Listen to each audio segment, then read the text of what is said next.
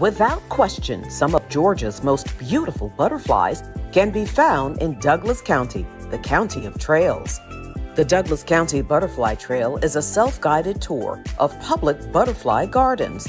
Each garden beautifully maintained by the UGA Cooperative Master Gardener Extension volunteers and is marked with extraordinary 3D Douglas County Butterfly Trail signs.